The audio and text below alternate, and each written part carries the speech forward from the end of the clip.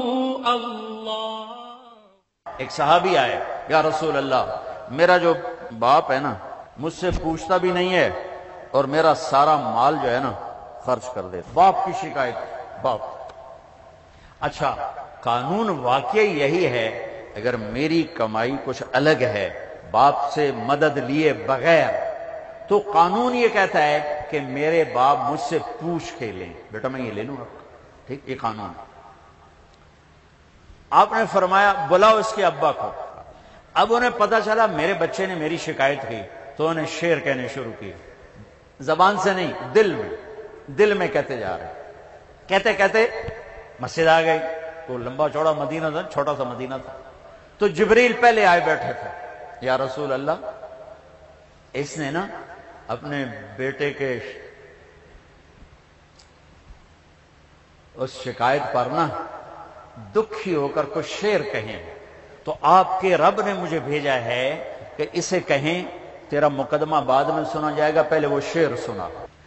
تو آپ نے اسے فرمایا، بھائی تیری بات بھی سنیں گے، لیکن وہ اوپر والا کہہ رہا ہے کہ پہلے وہ شعر سناؤ جو تیری زبان سے تو ادا نہیں ہوئے، صرف بزم تصور میں سجے اور نکل گئے۔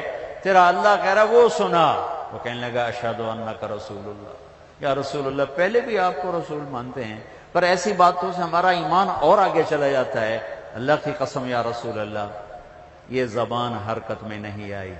صرف تصورات کی دنیا میں چند گلے شکوے الفاظ کا روپ دھار کر آئے اور پھر گم ہو گئے، مٹ گئے۔ آپ کے رب نے وہ بھی سن لیے۔ کہاں؟ کچا اچھا، چلو، سنا تو صحیح۔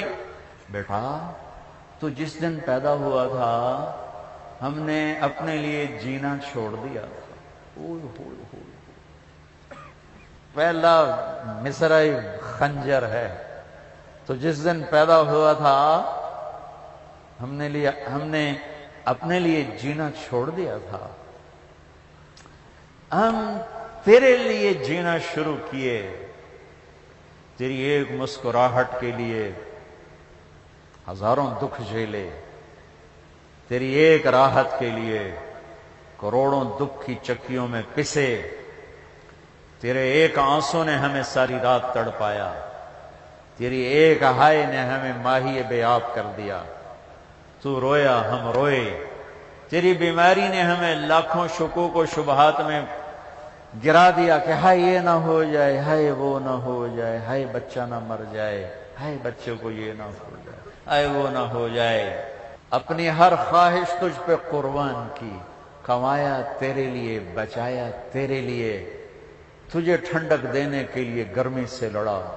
تجھے گرمائش پہنچانے کے لیے یخ بستہ ہواؤں سے لڑا۔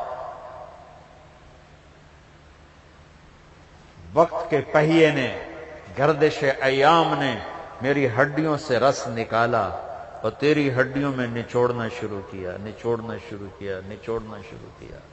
میری کمر جھکتی چلی گئی۔ تیری کمر اٹھتی چلی گئی۔ میرے پتے جھڑ گئے۔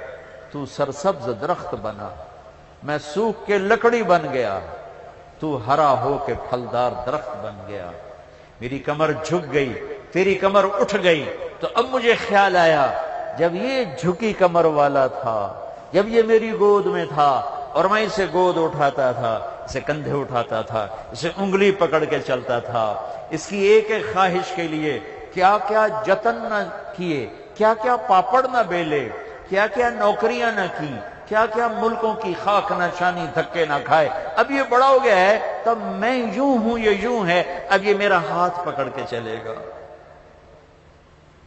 اب یہ میرا سہارا بنے گا۔ ایک دم میں نے کیا دیکھا، جس دن کی میں امید رکھتا تھا کہ جب میرا بڑھاپا آئے گا تو یہ میری لاٹھی بنے گا۔